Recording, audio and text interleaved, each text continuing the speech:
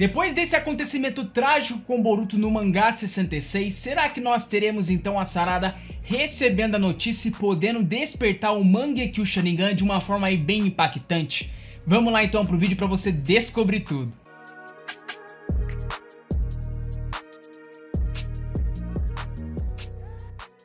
Fala galera do Hero Experience, beleza? Aqui quem fala é o Ramon, sejam muito bem-vindos a mais um vídeo. E bom, meus consagrados, o clã Uchiha, né, além de ter sido aí, no universo de Naruto, um dos clãs mais respeitados e temidos da história, por causa dos seus membros super talentosos e também por causa do Sharingan e as suas evoluções. A gente sabe, né, que para despertar o Mangekyo Sharingan, uma morte de uma pessoa muito próxima ao usuário, ela precisa acontecer, basicamente como um trauma, para então esse Dojutsu finalmente evoluir. E adivinha só, a partir agora, né, do momento em que o Boruto foi recentemente atacado aqui uma roupa pelo Kawaki, podendo estar morto nesse mangá 66, o que será que vai acontecer se a Sarada receber essa triste notícia de que o seu companheiro de time acabou sendo morto, hein? E eu confesso pra vocês que agora mais do que nunca, né, o Kishimoto poderá ir trabalhar em cima da jovem Uchiha de uma maneira que até hoje em Boruto esse assunto nunca foi tocado. Afinal de contas, vocês lembram que a Sarada ela despertou o Sharingan apenas lá pela ausência do seu pai de acordo com as palavras da Sakura? Pois é, imagine agora após ela receber a triste notícia do Boruto, hein? Acredito eu que além da possibilidade de termos a Sarada despertando o seu Mangekyo Sharingan de uma forma bem precoce perto, por exemplo, do seu pai, que despertou o Mangekyo Sharingan apenas depois da morte do Itachi lá em Naruto Shippuden, que a Sarada poderá então ser upada aí rapidamente com habilidades incríveis do seu novo Dojutsu, já que ela inclusive né, seria por enquanto perto do Karma do Boruto, perto do Kawaki com o Karma e o Mitsuki com o modo Senin, o membro do time 7 que está em maior desvantagem, até porque apenas com o Shidori e o Sharingan de 3 Tomoe que ela tem apenas no mangá, que a Sarada dificilmente seria párea perto deles, né, do atual poder deles, mesmo ela possuindo aí o cargo de uma Chunin, uma enorme força e uma incrível velocidade que muitas vezes, como lá na luta contra o Boro, superou aí inclusive a velocidade dos membros do seu time. Então, como um meio de equiparar o atual nível da Sarada com os seus amigos de time, eu sinceramente né, eu vejo agora como uma grande oportunidade de ouro para o Kishimoto trabalhar esse novo Denjutsu da Sarada, que para quem desconhece também, o mesmo já até demonstrou o design né, de como esse Dojutsu vai ser, de acordo lá com uma antiga arte né, que ele fez do time 7. O Mangekyo Sharingan da Sarada certamente terá uma habilidade única e especial, não por causa dela ser da nova leva de Shinobi de Konoha, mas sim porque a cultura do anime desde lá Naruto clássico e Naruto Shippuden sempre teve a característica de alguns personagens superar a geração anterior. Porém, a partir do momento em que a Sarada despertar esse seu novo Mangekyo Sharingan, que se parece aí muito com um símbolo de um sol, será que nós teremos aí muitos poderes sendo baseado no fogo, como é o caso do Amaterasu, e algumas habilidades que são padrões aí do Mangekyo Sharingan, como é o caso do Susanoo?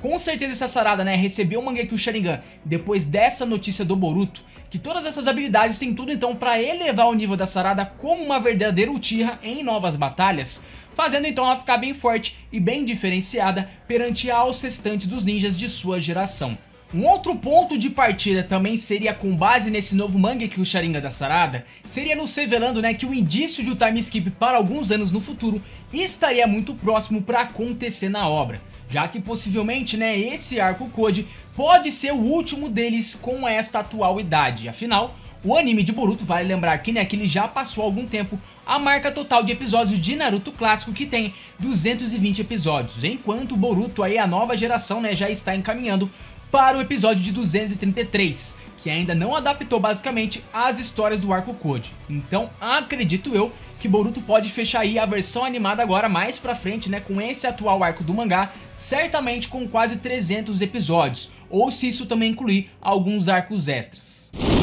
Como a Sarada atualmente ficou de fora de muitos acontecimentos importantes, como foi a luta contra o Ishiki, que teve apenas a aparição do Kawaki e do Boruto, e agora esta luta contra o Code, quem sabe um Mangekyo novinho em folha para a Sarada não seja então a solução perfeita para que a Uchiha possa ir participar constantemente de novas batalhas que a personagem está ficando de fora atualmente por puro roteiro do Kishimoto Assim como o Mitsuki, né, que poderia ser aí muito mais utilizado com o seu modo Senin que foi pouco aproveitado dentro da obra. Muita gente acredita ou acreditava que a Sarada iria ganhar o Mangekyo Sharingan em Boruto apenas quando o Sasuke bater as botas em algum momento. Porém, eu não sei se todos vocês aí já notaram, né? Mas em Naruto, todos os Uchihas que tiveram Mangekyo Sharingan despertado, todos eles conseguiram esse novo Dojutsu apenas quando seus amigos morreram e não por abranger alguma relação com pai e mãe. Afinal de contas, o Obito e o Kakashi, que nem eram um Uchiha, despertaram ao Mangekyo Sharingan por causa da Rin.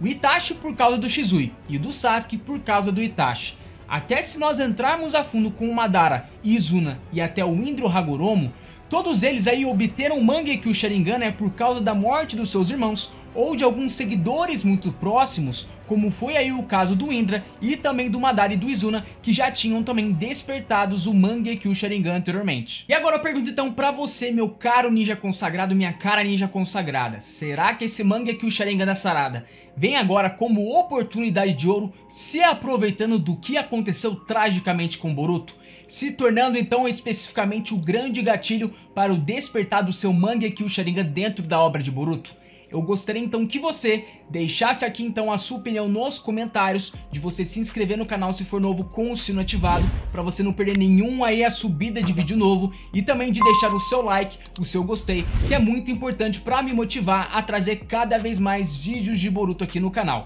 Lembrando também de compartilhar esse vídeo com seus amigos nas suas redes sociais, nos seus grupos e também de conferir a aba Seja Membro aqui do canal, que tem diversos planos simbólicos né, para você ajudar cada vez mais o canal a elevar o seu nível de edição já que agora nós ficamos todos por aqui. Um grande abraço a todos, valeu, falou e fui!